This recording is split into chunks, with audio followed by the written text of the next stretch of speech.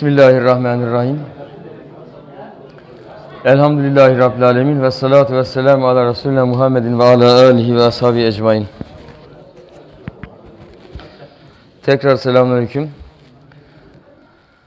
Evet, e, ikinci işaret 13. lem'a Hikmetül İstiaze adıyla Üstad Hazretleri Allah'a sığınmanın hikmetlerini burada işaret işaret yazmış. Yani insan Allah'a şeytandan dolayı sığınır. Bir bundan ihtiyacı var. Bir de Allah'a Halık'ı, Rabbi, yaratıcısı olduğu için zaten sığınma ihtiyacı var. Kulu olduğu için, Allah'ın kulu olduğu için Allah'a sığınır. Bir de şeytan gibi ekstra bir insanın e, paraziti var. E, Allah'a sığınmasını zorunlu kılan. Belki şeytan olmasa insan bunun ihtiyacını pek hissetmeyecek belki de ama şeytan bunu hissettiriyor. Isırıyor durmadan, saldırıyor, ısırıyor e, ve musallat oluyor. O musallat oluşuyla insan Allah'a sığınma ihtiyacı hissediyor. Evet, e, bunun hikmetleri var. Buradan bir iki işaret okuyalım. E, hepsini okuyamayız. İkinci işaret. Sual şerri mahz olan şeytanların icadı ve ehli imana taslitleri ve onların yüzünden çok insanlar küfre girip cehenneme girmeleri gayet müthiş ve çirkin görünüyor. Evet, şeytan insana saldırıyor. Ee, şeytanlar neden icat edilmiş? Bu soruları hele günümüzde çok fazla soruyorlar. Deistlik fikirler bu soruları böyle sürekli karıştırarak insanların hele gençlerin kafalarını, akıllarını imandan uzaklaştırmaya, çalmaya çalışırlar. E, şeytan niye yaratıldı? Şeytan Allah'tan daha mı güçlü? Allah dilese şeytanı susturmaz mı? Şeytanı yok etmez mi? Niye şeytanı salıverdi orta yere de? Sonra da Allah'a e, sığının diye insanlara söylüyor. Gibi sorular çok fazla sorulur. Risale-i Nur'da bu soruların cevabını çok yerde buluyoruz. Bir tanesi burası. E, demek ki şeytanların icadının bir hikmeti var. Neden Allah icat etmiş? Bir, ehli imanı niye saldırıyorlar şeytanlar? İki, e, ve şeytanların yüzünden birçok insan da küfre giriyor. Tabi şeytanlar sözünü dinletiyor, kandırıyor insanları. Küfrü cazip gösteriyor, hoş gösteriyor. Ve insanları küfre çekiyor, peşine çekiyor. Ve küfre giren insanlar da sonuçta cehenneme girmiş oluyorlar, cehenneme ulaşıyorlar. E, ve şeytanın peşinden giderek tepe taklak cehenneme düşüyorlar. Ve bu gayet çirkin bir şey. Çirkin ve şimdi deistlere sorsan e Allah bunu niye yapıyor? Allah durduk yere kullarını niye böyle tuzağa düşürüyor? Tuzak diye görüyor. Tuzağa niye düşürüyor? Şeytan e, Allah kulunu doğrudan hitap etmesini bilmez mi? Niye hitap etmiyor? Niye kulunu yönlendirmiyor doğruya doğru, kendisine doğru? Şeytan ile niye kulunu uğraştırıyor, cebelleştiriyor? Ya şeytan bu hakkı nereden buluyor? Neden şeytan Allah'ın kullarının önüne çıkıyor? Bu soruların cevabı Risale-i Nur'da var.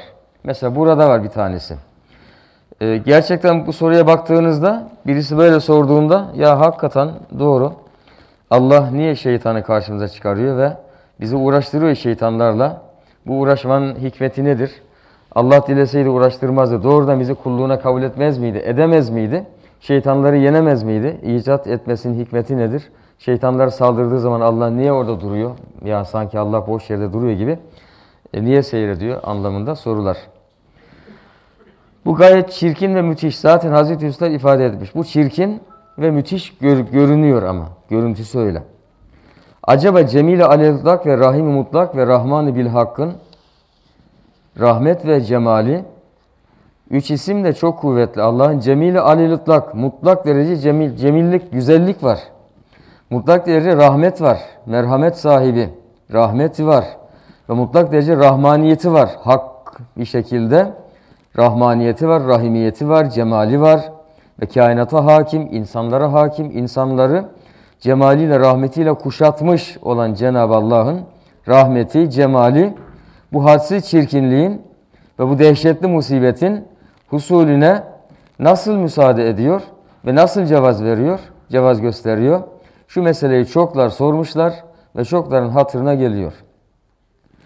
Yani günümüzde bu soruları çok duyarız. Gençlerin kafalarını çaldıkları sorulardan bir tanesi bu. Güçlü de bir soruya benziyor. Daha basit sorularla çalıyorlar. Adam diyor ki cennette her istediğini olur mu? Oluyor. E cennette ben galeciyim, işte arkadaşım futbolcu. Ben kol yemek istemem, kaleci, kaledeyim çünkü. O da kol atmak istiyor. Hangimizin dediği olur? Çok basit sorular bunlar. Bu tür sorular bu basite kadar inerek yani cenneti güya her istediğin olmuyor. İşte orada bazı şeyler olmuyor, bazı şeyler olur gibi insanların kafasını, imanlarını karıştırma soruları. O en basiti belki ama bu soru güçlü bir soru. Bu soruya nasıl cevap vereceksin? El cevap.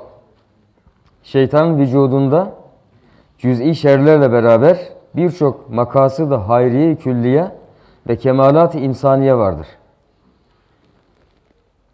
Demek ki şeytanın varlığında cüz'i şer var. Tamam.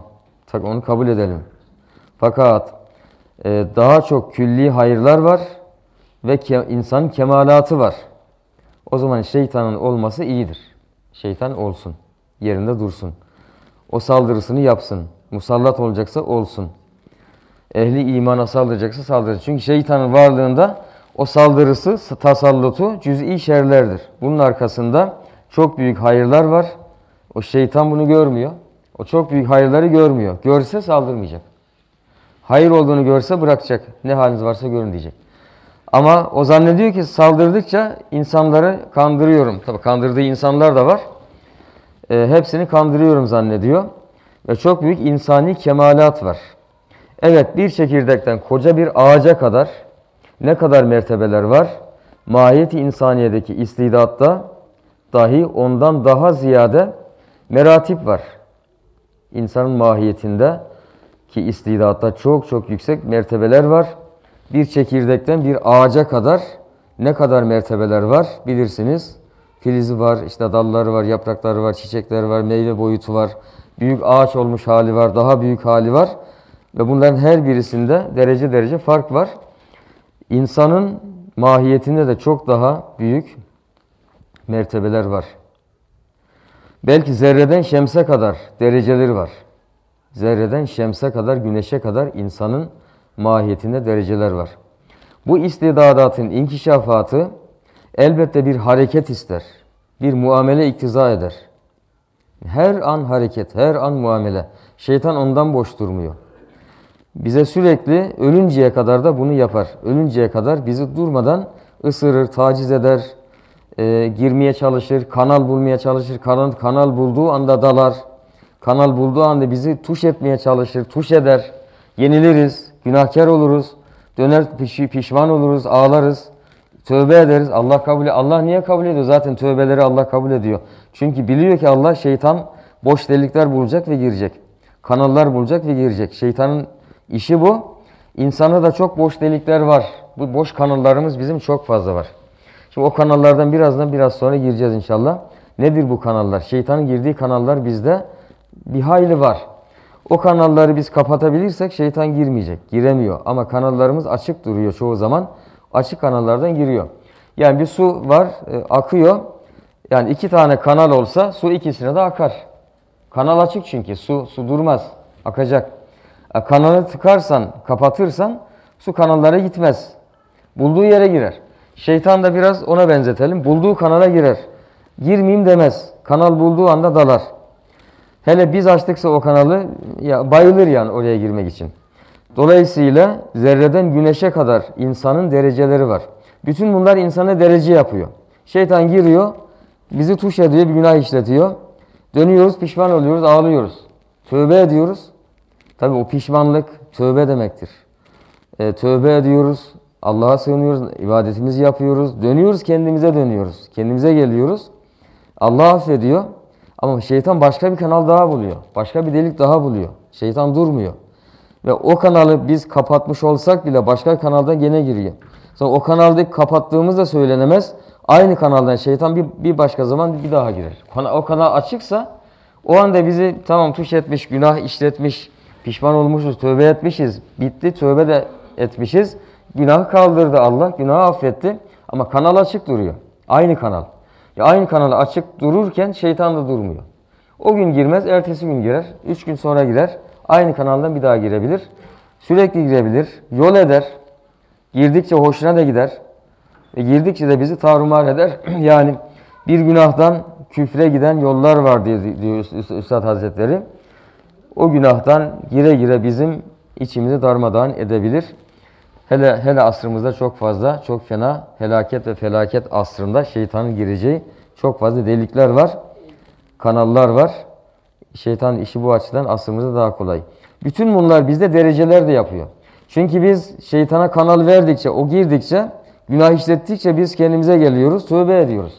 Yani biz de durmuyoruz yani. Tövbe ediyoruz, pişman oluyoruz, namaz kılıyoruz. E, Her namaz bir önceki namazla kendi arasındaki günahların bağışlanmasına vesile oluyor bir kere. Yani o günah kalmıyor aslında. Biliyoruz ki şeytan bize tuş etti.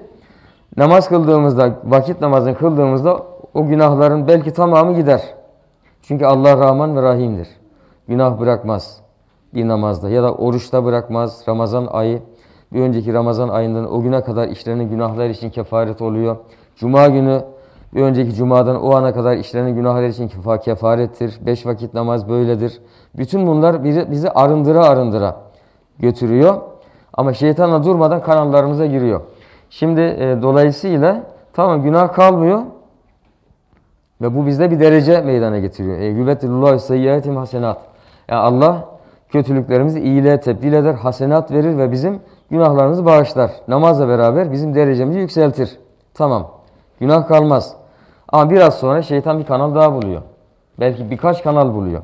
Dolayısıyla bütün bunlar bu gel, gel gitler, zikzaklar çize çize gidiyoruz. Bu bizde derece yapıyor. Bazen eksiye doğru bazen artıya doğru. Ben şöyle diyorum sınıflarda özellikle. Şimdi Allah bizi yarattığı zaman 100 puan veriyor. 100 puan veriyor. Herkese. Kafir de olsa. 100'er puan insan olarak veriyor. Meleklere de 100'er puan veriyor. Şimdi meleklere 100 puan veriyor. Meleklerin puanı sabit kaldığı için o sürekli onlar ne yapsalar puanları artmıyor. Düşmüyor da. Ama insanın puanı 100 puandan başlıyor. 15 yaşına kadar puan yükselebilir. Günah yok çünkü. 15'ten sonra günah başlayınca puan düşebilir. Günah işledikçe düşer. İşte belki 15'e kadar 1000, 1000 puanı olmuştur. Belki 10 bin puanı olmuştur. Bilemiyoruz. Belki 20 bin puanı olmuştur. İşte günah işledikçe ek- eksi 500, eksi 1000, eksi 2000 ama sevap işledikçe artı 2000, eksi 3000, artı 4000, eksi artı gider böyle artık. Ve ölüme kadar gider. Ne zaman işte ölüm onun için yazılmışsa 60 sene ise e, 45 sene boyunca bu zikzaklar devam eder. Bazen düşer, bazen yükselir, bazen düşer, bazen yükselir. Ha, yükselişi fazla olabilir. İşte bunlar hep insan, o insanı derece yapıyor. Derecesi oluyor Allah katında. Sürekli de- derece alıyor. Her nefes, her nefes biz derece alırız. Hele nur talebesi. Yaptığı her hizmet, her hele böyle bir zamanda hizmet etmenin, fedakarlığın, feragatın, şahsı manevi olmanın, şahsı manevi katılmanın, hizmetlere katılmanın verdiği dereceler daha yüksek tabii ki. Dereceler yükseliyor. Diyelim adam öldüğünde belki 100 bin puanı var. Yani belki belki 200 bin, belki 1 milyon puanı var. Belki de eksiye düştü. Ee, insan sürekli ya puan yükseltiyor ya puan düşürüyor. Derecemiz sürekli bizim değişiyor bu açıdan. Ama Peygamber aleyhissalatü vesselam diyor ki insanın bir bir derecesi var. Ee, kader insana bir derece çizmiş. Yaratıldığı zaman Allah o insana bir, bir numara vermiş. Numarası 60 bin. Tamam o insan 60 bine gelinceye kadar hayatı boyunca çalışır, çabalar. 60 bine geldiği anda o insanın ruhu e, kabz edilir.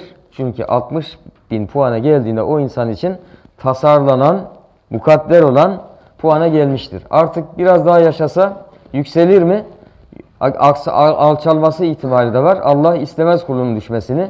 60 puana geldin, kulun mukadder puanına geldin. E, sen puanını aldın, artık gel huzuruma der. Ve kulu huzuruna alır. E, dolayısıyla her kul için Allah'ın verdiği bir, puanla, bir puantaj var. O puana ulaştığı zaman kulun ruhunu alır. İşte puanı yüksekse cennetini alır. Dolayısıyla bu dereceler çok fazladır bizde. Yani herkesin derecesi fazladır. Zerreden şemse kadar dereceleri var. Bu istidadatın inkişafatı, inkişafı açılması elbette bir hareket ister, bir muamele iktiza eder. Bir hareket, bir muamele. Ve o muameledeki terakki zembereğinin hareketi mücahede ile olur. Nasıl terakki ediyoruz? E mücahede etmemiz lazım. E şeytan yoksa nasıl mücahede edeceğiz? Şeytan yok. Bizi kim kim kötülüklere çekecek? Yani biz kendimizi kandırırız nefsimizi. Ya gitme oraya cennet var. Ne güzel bir şey. Gitme cennet var. Gayet kolay aslında. O kötülükleri Allah haram kıl. Tek tek saymış. Haram olanlar belli. Kötü olanlar belli. Allah'ın razı olmadığı daire besbelli. Hiç hiç belli, böyle şey değil. e, ta- tartışmalı falan değil. E gitme cennet var. E tamam o zaman. Ne ala. Niye gidiyorsun o zaman? Çünkü şeytan cazip gösteriyor. Yani biz bilerek gitmiyoruz. İstesek gitmeyeceğiz ama şeytan var arada. Ara format şeytan cazip gösteriyor. Öyle bir cezbediyor ki tamam diyoruz. Dalıyoruz. Ya da belki Allah affeder diyoruz. Belki o anlık bir gaflet oluyor. Yani farklı farklı sebepleri var. Tabii gitmeme sebepleri de var. İşte o anda o mücahede anında bu şeytandandır, bu günahtır, haramdır. Git kör şeytan dediğimiz anda Allah katına derecemiz yükse- yükselir. İşte Şeytana gitmediğimizde Allah katına derecemiz belki kaç kat yükselmiş oluyor. İşte bu mücahededir. Hayat boyu devam eder. Gece de gündüz de devam eder. Ömür boyu devam eder. O mücahedenin zembereğinin hareketi, o terakki zembereğinin, yükseliş zembereğinin hareketi mücahede ile olur. O mücahede ise şeytanların ve muzır şeylerin vücuduyla olur. Şeytanların ve muzır şeylerin vücuduyla olur. Yoksa melaikeler gibi insanların da makamı sabit kalırdı. O halde insan insan nevinde binler enva hükmünde sınıflar bulunmayacak. Bir şer-i cüz'i gelmemek için bin hayrı terk etmek hikmet ve adalete münafidir. Bir şer-i cüz'iden kasıt şeytanın ivası, aldatması, şer-i cüz'idir o. Ama o şeytanın aldatması gelmesin diye bin hayrı terk etmek. Bin hayır. Ya sen onu tekmeledikçe Allah katına yükseliyorsun. Belki kainatın üstüne çıkıyorsun. Kainatı arkada bırakıyorsun. Kainat çünkü e, insan da değil, kendi yaratılmış mahluk. E, camidat var, içinde hayvanat var. İnsan kainattan daha şereflidir eğer makamını bilerse, bilirse. Nahzen takvimde yaratılmış, kainat daha gerisinde olmuş. İnsan kainatı geçer. Şeytana tekmeyi vurdukça insan yükselir. Bin kat yüksek hayır kazanır. Şeytan var diye. Şeytan aldattığı için hayır kazanır. İnsan ama şeytan bunu bilmiyor. O garibim çektikçe ben kötüye çekiyorum zannediyor. Durmadan asılıyor. O asıldıkça hele nur talebesi yükselmeye devam eder. Derecesini artırmaya devam eder. Onun için şeytanın asılması, tasallutu bu yönüyle iyidir. Yani hayırdır, bizim için hayır getirir. Ama aldanmamak şartıyla, aldanmamak için tabi dua etmemize ihtiyaç var birbirimize. E, müteyakkız olmak lazım. Evet, şey, çenden şeytan yüzünden ekser insanlar dalalete giderler. Şeytan yüzünden ekser insanlar dalalete giderler. Fakat ehemmiyet ve kıymet ekseriyetle keyfiyete bakar, kemiyete az bakar veya bakmaz. Yani çok sayıda insan gitmiş, az sayıda insan şeytandan dolayı yüksek mertebe elde etmişse Cenab-ı Allah o az sayıdaki insanın makamı için o çok sayıdaki insanı gözden çıkarır. Yani kemiyete bakmaz, keyfiyete bakar. Nasıl ki bin ve on çekirdeği bulunan bir zat, bin on çekirdeğin var. O çekirdekleri toprak altında bir muamele-i kimyeviyeye mazhar etse, ondan on tanesi ağaç olmuş, bin tanesi bozulmuş. Oran ne kadar farklı değil mi? Bin on çekirdeğin on tanesi ağaç olmuş, bin tane çekirdek bozulmuş. Oran yüksek. Binde Binde bir sanki ağaç olmuş, binde 990 bozulmuş. Ama o 10 ağaç olmuş çekirdeklerin o adamı verdiği menfaat elbette o bin bozulmuş çekirdeğin verdiği zararı hiçe indirir. 10 tane çekirdek ağaç olunca ilk meyvesiyle bir kere o bin tane meyveyi geçer. İlk meyvesiyle geçer. Daha sonraki meyveler karda kalır. Yani dolayısıyla keyfiyet önemli. 10 tane çekirdek ağaç olmuşsa tamam mesele hallolmuştur. Bin tane çekirdeğin bozulmasının hiç ehemmiyeti yok. Bozulabilir. Bozulmasaydı. Yani aynı şeytan kimseyi iltimas geçmiyor. Kimseye iltimas geçmiyor. 10 tane adama da şeytan gelmişti. O ondan makamını yükseltmişti. Bin tane adama da şeytan durmadan saldırıyor. Şeytan herkese bir saldırıyor. Kimseyi atlamıyor. Peygambere bile saldırıyor. Ha, peygamber korunuyor. İsmet sıfatı var. Yaklaşamıyor. Zarar veremiyor. Ama şeytan onun dışında herkese zarar veriyor. Yırtıyor, parçalıyor, paramparça ediyor.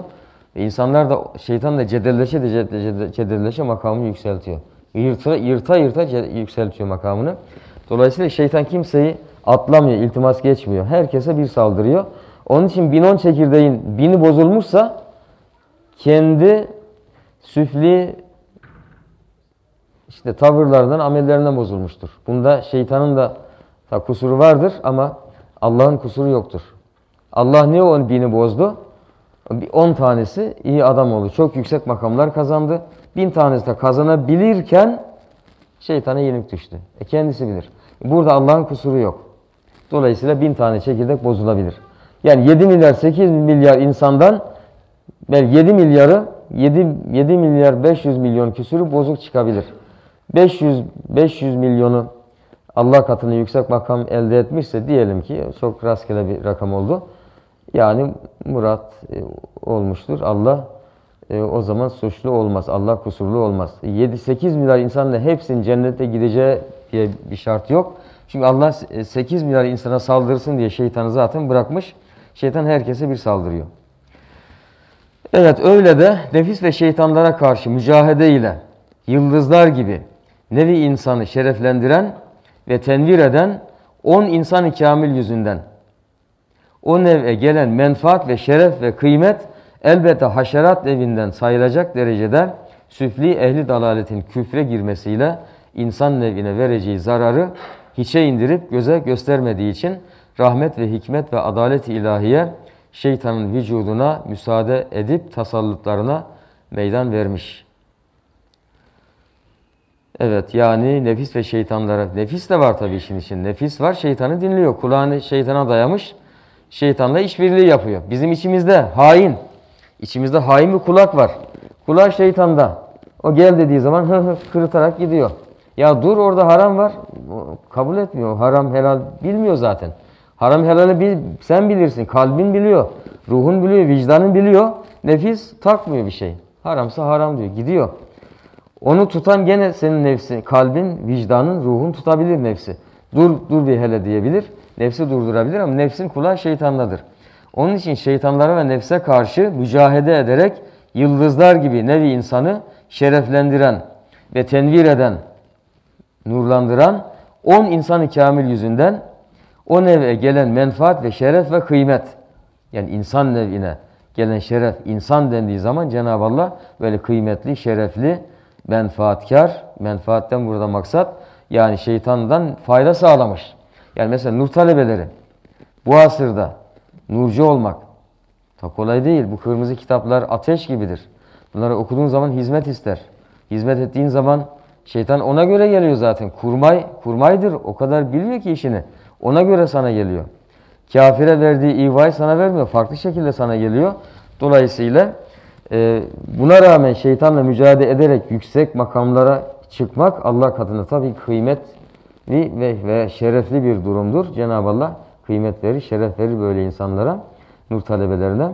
İşte elbette bu yüzden haşerat nevinden sayılacak derecede süfli ehli dalaletin küfre girmesiyle insan nevine vereceği zararı hiçe indirip göze göstermediği için rahmet ve hikmet ve adalet ilahiye şeytanın vücuduna müsaade edip tasarruflarına meydan vermiş. Ey ehli iman bu müthiş düşmanlarınıza karşı zırhınız Kur'an tezgahında yapılan takvadır ve siperiniz Resul-i Ekrem aleyhissalatü vesselamın sünnet-i seniyesidir ve silahınız istiazı ve istiğfar ve hıfzı ilahiye hıfzı ilahiye ilticadır. Evet, e, zırhınız Kur'an'dır, takvadır, siperiniz Resul-i Ekrem sallallahu aleyhi ve sünnetidir, silahınız da Allah'a sığınmaktır, istiğfar etmektir, Allah'ın himayesine iltica etmektir. Böyle yaptığımızda Cenab-ı Allah bizde günah bırakmıyor. Bir de beşinci işaret var. E, orayı da okuyalım. Cenab-ı Hak kütüb-i semaviyede beşere karşı cennet gibi azim bir mükafat ve cehennem gibi dehşetli mücazatı göstermekle beraber çok irşat, ikaz, ihtar, tehdit ve teşvik ettiği halde ehli iman bu kadar esbab-ı hidayet ve istikamet varken hizb şeytanın mükafatsız, çirkin, zayıf desiselerine karşı mağlup olmaları bir zaman beni çok düşündürüyordu. Yani Üstad Hazretleri de bunu çok düşünmüş. Neden? Çünkü cennet var ya. Cennet yani hiç atılacak bir şey mi? Ebedi bir cennet. Sonra böyle 100 sene falan değil.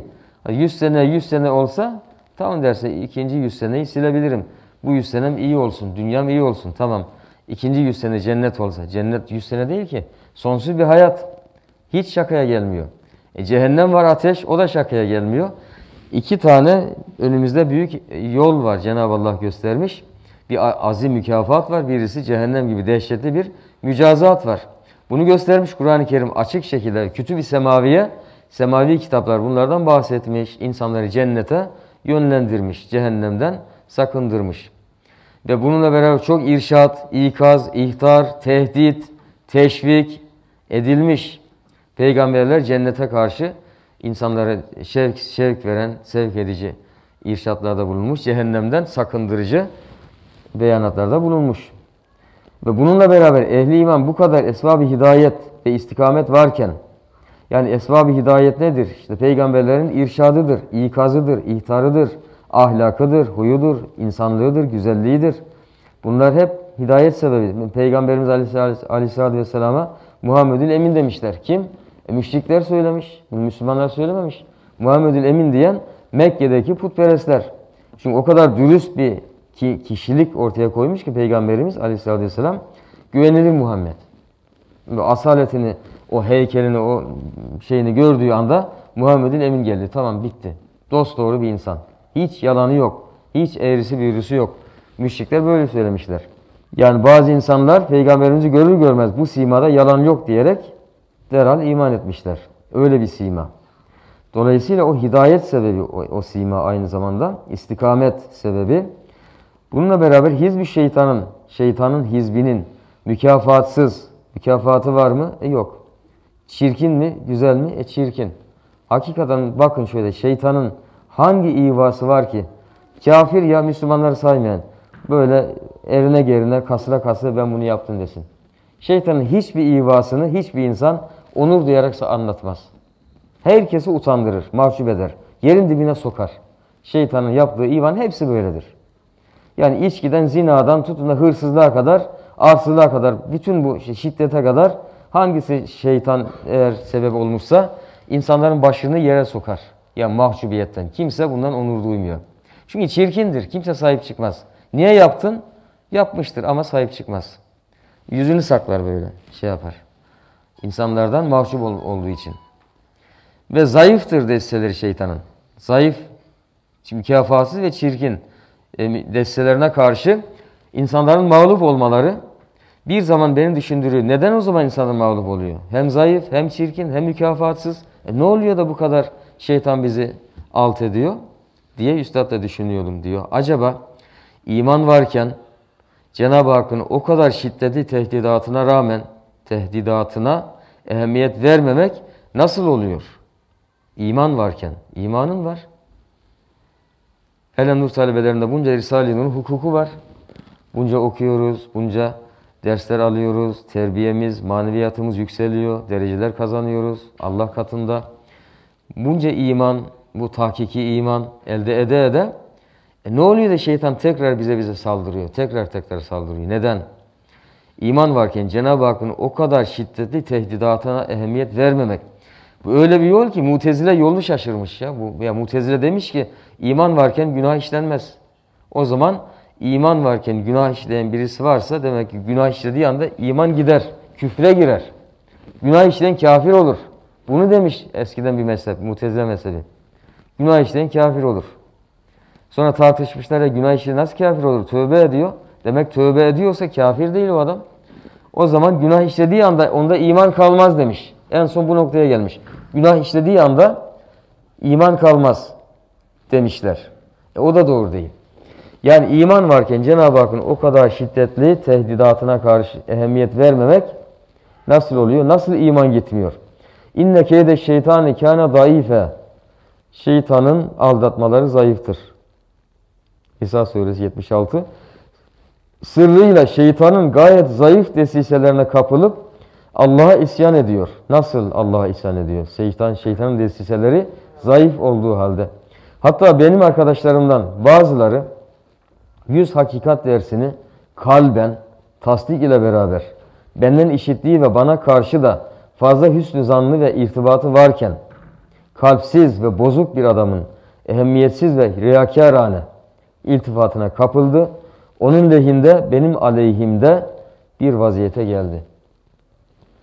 Yani gerçekten biz e, şu üstadın ikazı fevkalade dinle- dinlemek lazım. Benim arkadaşlarımdan bazıları 100 hakikat dersini, az ders değil yani 100 ders üstaddan almışsın. Kalben tasdiki var. Kalben tasdik ile beraber benden işittiği ve bana karşı da fazla hüsnü zannı ve irtibatı varken hüsnü zannı var, irtibatı var.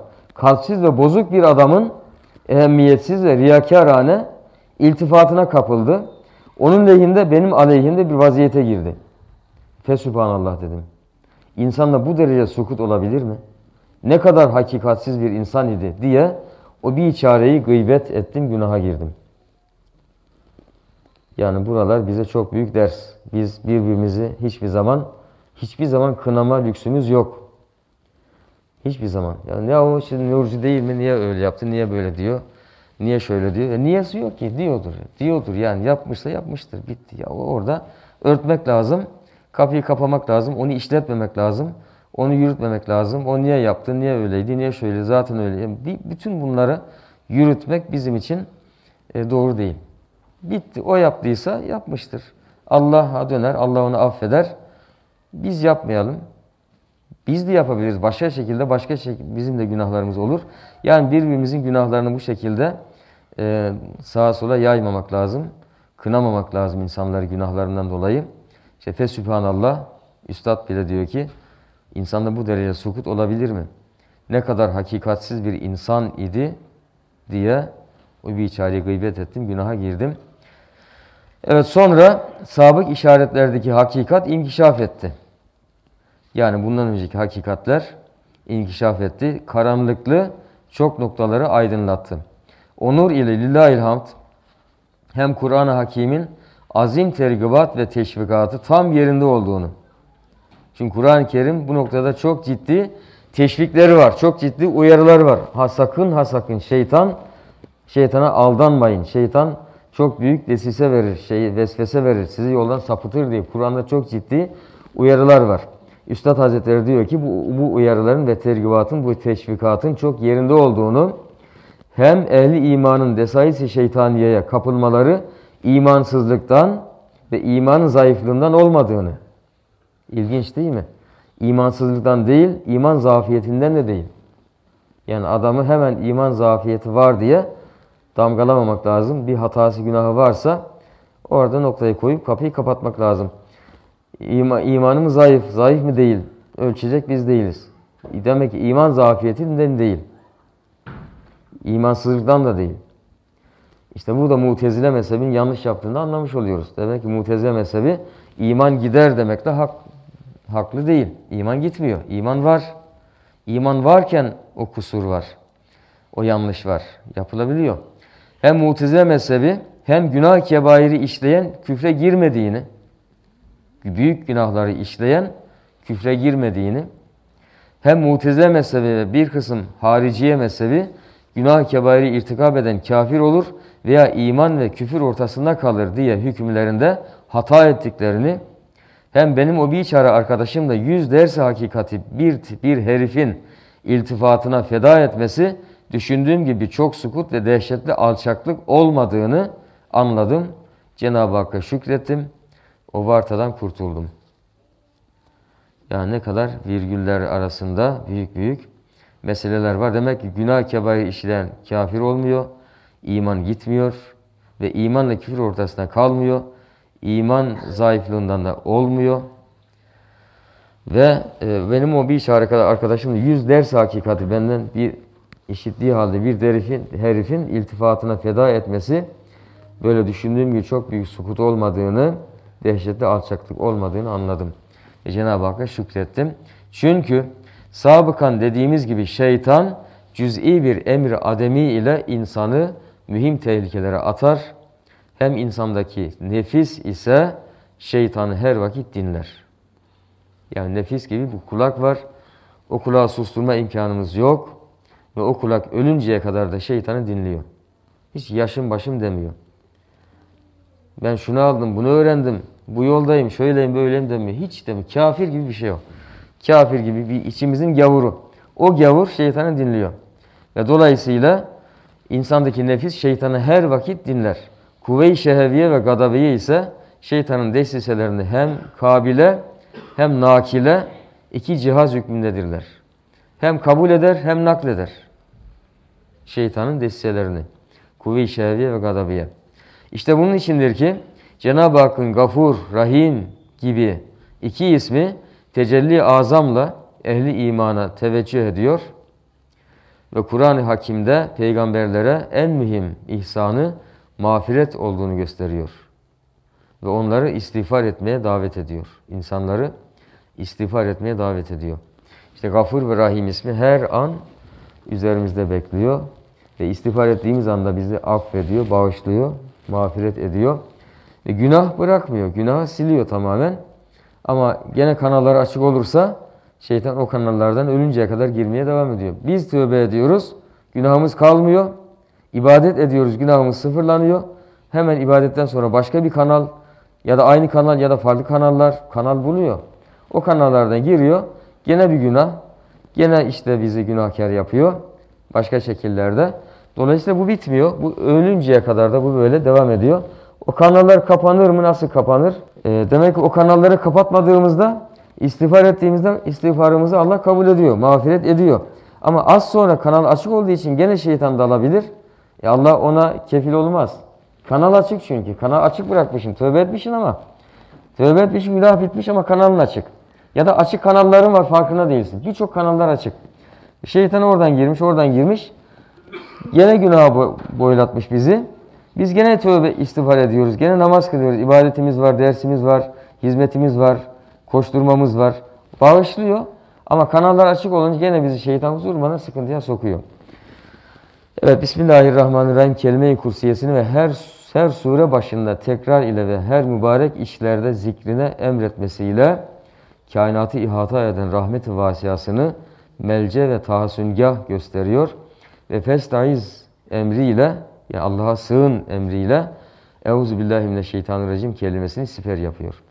Yani taşlanmış, kovulmuş şeytanın Allah'a sığınırım diyerek de sürekli Euzubillahimineşşeytanirracim Bismillahirrahmanirrahim kelimesi bizim için çok büyük. Hem şeytandan Allah'a sığınmamızı vesile e, ediyor. Hem Allah'ın rahmetini inşallah celbetmiş oluyoruz. Bu bile bu iki kelime bile Allah'ın bizi bağışlamasına çok büyük bir vesile olabilir. İbadetlerimiz var, zikrimiz, fikrimiz var, ibadetler farklı farklı yaptıklarımız ibadetler var, dersler var, evrat ve esker var. Günah bırakmıyor. Ama kanallar açık olunca o hiç günah bırakmamanın garantisi olmuyor. Ölünceye kadar o kanalları kapatmadığımızda kapatabilir miyiz? O da ayrı bir şey tabii. Onları kapatmak da ayrı bir facia. işte ayrı bir azamet. Ama e, bu şekilde istiğfar ede ede inşallah Rabbim. E, tabii ki istiğfar ettikçe de o makamımızı geri verir. Derecemizi yükseltir ama şeytana olan deliğimiz açık kalır. Şeytanın da işi bu. O delikten giriyor. Allah rızası için El Fatiha.